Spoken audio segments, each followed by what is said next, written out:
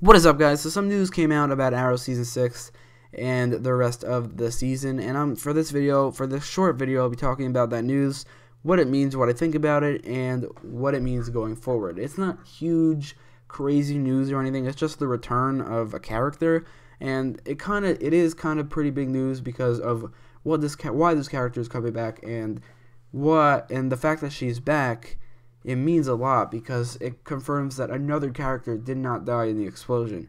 So the character that's returning is Nyssa Al Ghul, played by Katrina Law. She is returning to Arrow for one single episode later this season.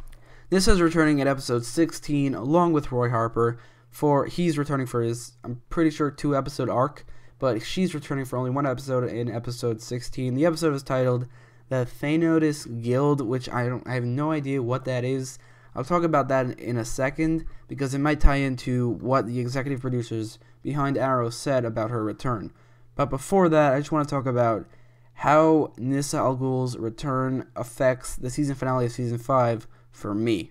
So, her return, like I said, shows that another character didn't die on Lian The only characters that died as at this point were our Samantha, and then Talia al Ghul and Artemis might have died. This confirms here that Al Ghul did not, and that's insane. I'm not saying Nyssa Al Ghul should have died. I'm saying that somebody other than Samantha, some major character, some either even main character should have died. And the fact that another character is confirmed to not die is pretty concerning. It's it's not concerning or anything because we already saw most of the se- a lot of the season and we know how that played out. But just the fact that another character didn't die on the island, it just makes the season finale of season five so much less impactful. It was barely impactful at all. All it did was give Diggle this side story with his nerve damage for a little bit, and then all and also kill Samantha, which I'm, I'm sure it affected the story because William was uh, adopted by Oliver, kind of, but that's all it did. That's all the season five finale did. It just pushed the story forward and that's kind of annoying to me. The fact that another character, being Nyssa Al Ghul, did not die kind of sucks. I'm not saying I wanted her to die. I just I'm saying that I wanted somebody other than Samantha to die. Like I said earlier, Nyssa Al Ghul's and Katrina Law's return isn't actually as big news as what the executive producers said about her return, and what they said is insane and crazy. They didn't say anything specific or anything, but they said some crazy stuff and what they said is, and this is from Wendy Mericle, I don't actually know how to pronounce her last name, but her and Marc Guggenheim, and they said in an unforgettable episode that will change Arrow forever, Katrina Law returns as the daughter of the demon Nyssa Al Ghul. Nyssa comes to Star City to warn of an impending danger that will threaten everything we know and love. But who is this impending danger, and why is why will this episode change Arrow forever, and why will it be unforgettable? So the first thing why will it change Arrow forever? It probably means the death of a major character. And I don't I don't think either Nyssa or Roy will die here in this season in this episode because that wouldn't really affect the season. It wouldn't really change Arrow forever. I mean, Roy hasn't been on the show since season he hasn't been a main character since season 3 and he hasn't appeared since season 4 and I doubt his his death would not change the show forever. And this Al also is a recurring character, so that wouldn't change the show forever. What I'm thinking is that they're gonna kill off a main character. So the only characters that I could think of that they could change the kill off and it won't change that it, and it will change uh, Arrow forever is either Diggle or Felicity because killing off Black Canary, Wild Dog, Arrow, or Mr. Terrific would not change not change Arrow forever. Killing off Diggle and Felicity would because both of them have been around since season one, and killing either one of them off would completely change the dynamic of the show more so towards Felicity than than Diggle, but those are the two characters that I think they could kill off, and that would change Arrow forever, especially Felicity. And and just to wrote my opinion uh, here, I would love it if they killed her off, even though she was actually a pretty great character in episode 11. I still want her to die. I still do, just because she doesn't need to be here at all, and she's with with Oliver, which kind of bugs me. Now, this thing that will change Arrow forever definitely does not need to need to be the death of a character, but that's really the only thing the only thing I could think of. I'm betting that the executive producers and the showrunners and the writers have something up their sleeve, and it might not be the death of a character, but I can't I cannot think of anything else other than that. unless if it's like the death of our, of Oliver Queen forever, which won't happen, which is actually a death of a character, so I don't know why I said that. But yeah, there's nothing I could think of on that uh, on that respect. But the second thing that is also a crazy big thing is the impending danger that will threaten every that will threaten everything we know and love that Nyssa comes to city to Star City to warn Team Arrow about.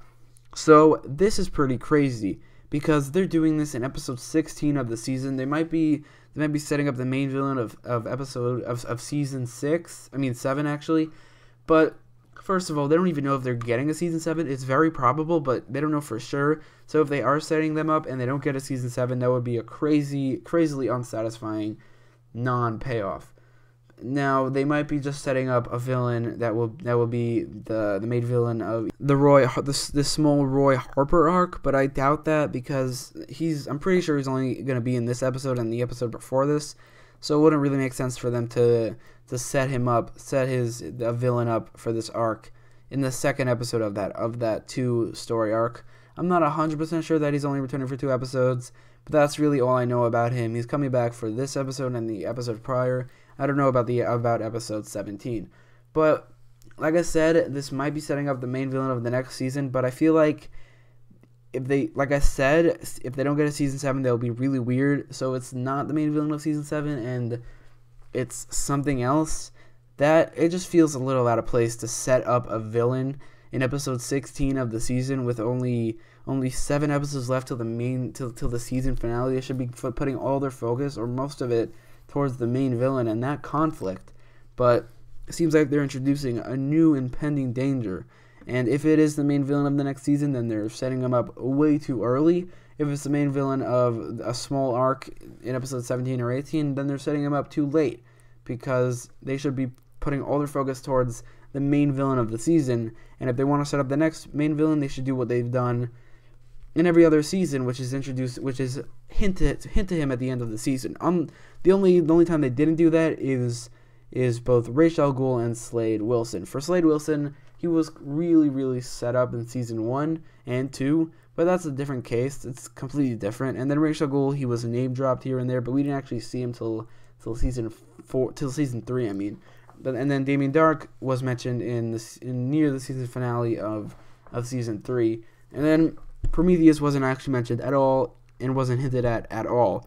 So I feel like if they are going to introduce, if they are hinting at a season six villain, they're doing it a little too early in the season, and they should be putting all their focus on the main villain conflict because Nyssa coming to Star City and warning Team Arrow about this about this uh, this new impending danger that will they need a, they need a Team Arrow already has enough on their plate right now. They don't need to worry about a new impending danger that Nyssa comes to to warn them about.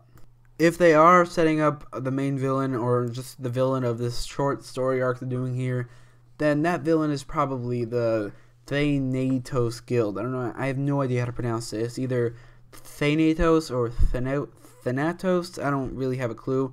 So Thanatos can be can be referencing two different things, and the former is a lot more likely being the personification of death in Greek mythology that the, the, the, if that is the case, the Thanatos Guild is probably a bunch of people who who worship him or worship death in general, and that's and that's why they're an impending doom, uh, an impending danger that puts everyone we know and love in in danger, or that something like that?